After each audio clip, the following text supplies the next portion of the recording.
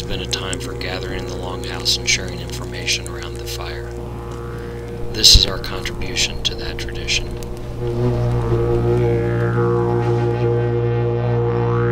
I was on the prod this morning, and it cost me some footage of a couple of really nice wall hanger size bull elk. I was aware of the elk before they were aware of me, uh, but it was in a grove of aspen like this, and I was having a hard time getting an angle for pictures or footage. And, uh, you know, I had a plan, and I knew what I wanted to do, and so I, uh, you know, kept angling for that that shot, and they they they ended up spooking before I ever got any kind of an angle on them. And uh, if I had just relaxed my pacing, they would have fed into me eventually anyway, and I would have gotten some great footage. So that was a case of too much yang, not enough yin, and that's uh, kind of the subject of uh, today's lesson.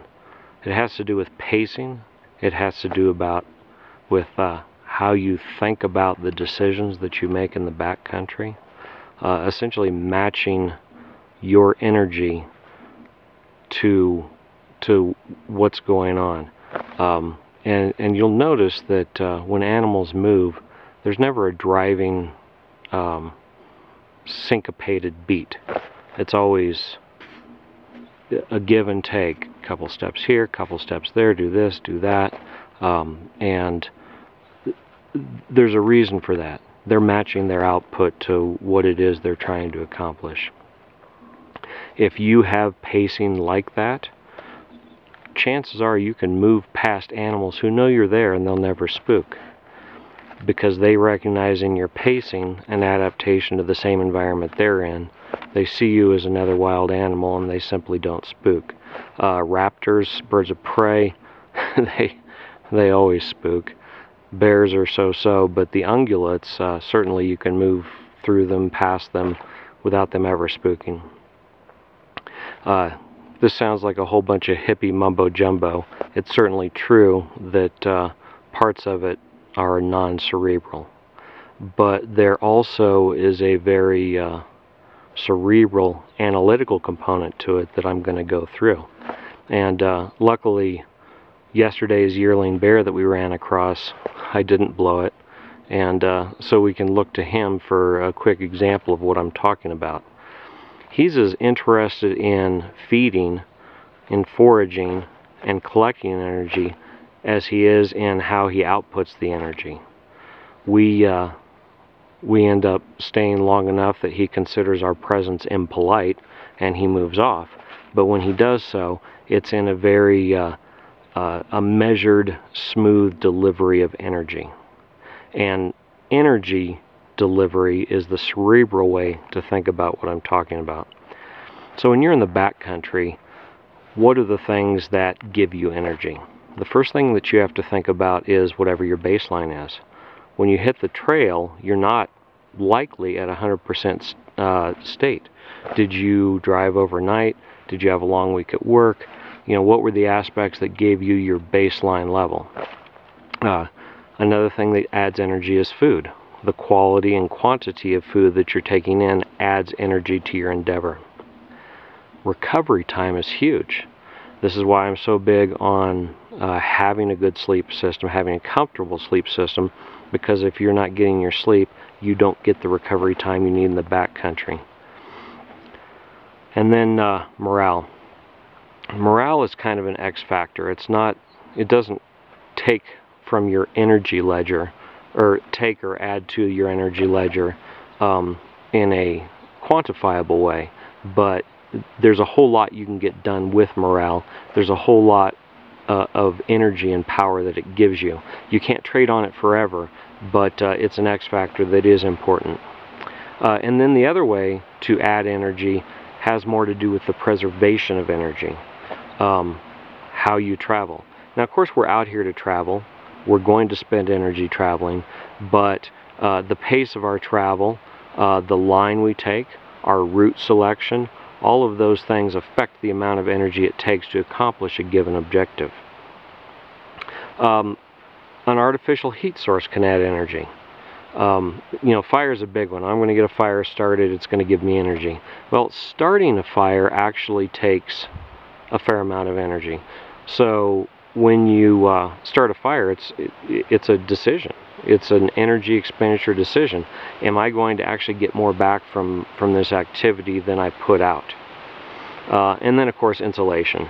Um, insulation preserves your energy in the forms of uh, of heat loss. So, uh, what removes energy from your body? Uh, as I said before, no, that is not a tick, thankfully. As I said before, um, movement is something that takes energy away. Of course you're going to move, it's the reason that you're out there, but being smart about that movement um, is going to uh, is going to be important. Um, and then heat loss. You've got four types of heat loss that are important to consider. And this basically goes to what your clothing system is going to be. Uh, first of all, radiant heat loss. That, that's simply I'm sitting here, I'm cooling down, there's a temperature differential between my body and the outside air, and I'm radiating heat. That's costing me energy. Um, convective heat loss, wind. Uh, as I was talking here, the wind came up, and that's going to speed cooling. Uh, and that that has a very significant factor on the clothing that you're wearing. It may not be that cold out, but if you have the wind blowing, which is frequently the case in the mountains, um, that's going to speed cooling. Uh, conductive heat loss. I'm sitting on the ground. If this was a, a, cold winter day, I would literally be having heat sucked through my body into the ground. Uh, and then evaporative heat loss. Uh, and that has to do with um, sweat is how humans cool themselves. So if you're wet, if you're sweaty, um, you lose heat loss. you lose heat through through um, the cooling of the water on your skin. And so managing moisture is a big part of minimizing that heat loss as well. Um, so the whole point here on the cerebral side of things is thinking in terms of an energy ledger. Everything that you're doing is either adding to or taking away energy or some combination thereof. And what at first glance might seem like um, a real obvious, oh, that's giving me energy, or oh, that's taking away energy, maybe not. Uh, here's an example travel light, freeze at light, freeze at night. Everybody's heard this. Um, you don't carry a lot of gear, you get down the trail easier, that's less energy expenditure, but then you freeze at night. Um, Remember how recovery is important? So the question is, when you're freezing at night, is that a, um, that's obviously a loss, but the question is, in choosing to carry less gear, did you save energy overall? Or did you expend energy overall? Was that a good decision or bad? There's no right answer. And in fact, every circumstance, there's going to be a different answer. It's always an ebb and flow of, of what makes the most sense there. But that's an example of an energy um, energy ledger decision process that you need to think through as you're selecting gear, as you're choosing routes, as you're traveling through the backcountry. And why is it that energy um, ledger is so important? Well, first of all, traveling efficiently, traveling elegantly is is always the goal, and that kind of circles back to what I was talking about at the beginning with with your pacing and how the animals respond to you, if that matters to you. Uh, but the other thing is I don't believe that there are any accidents in the backcountry. Uh, maybe I'll say very, very few accidents. Oh, this just happened. No, that was the result of cascading bad decisions that probably started before you even got out on the trail. Um, you know, you, you pushed yourself all week at work, you decided, well, I'm going to drive straight through to get to the trailhead that night, and so you are already starting behind the curve uh, and then you pushed yourself harder on the trail than you should have, making you prone to stumbling, and oh, I, I, I just slipped and broke my leg. Well, no, you didn't. You made a decision to um, push yourself harder than you should have in the given circumstance, and and you ended up um, slipping as the result of it. And you know, maybe that's okay. Maybe that's how you want to go through uh, go through your backcountry adventures, but remember that that um, that hospital's not right around the corner. Most of what we do is uh, outside of the golden hour of emergency care, and uh, if you if you want to come back alive, you need to think like you don't have a safety net because you don't.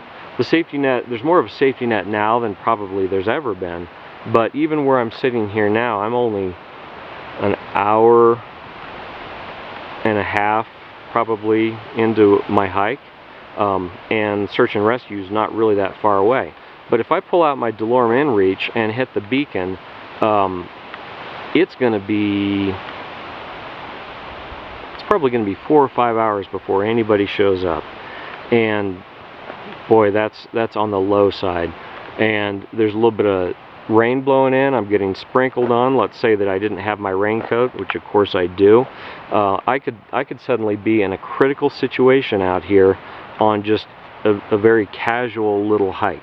And um, most of our outdoor endeavors are like that, even if we choose not to recognize it. So if you take that, well, you know, that gym mentality out into the backcountry, it can get you into trouble very quickly uh, because this is not a gym. You know, there's not somebody who can notice there's a problem and, and call emergency services, which are going to be in the, be there within 15 minutes. This is a different environment. And you may get by for years having that wrong mentality, but eventually you're not going to be able to cheat the mountain and something's going to go wrong.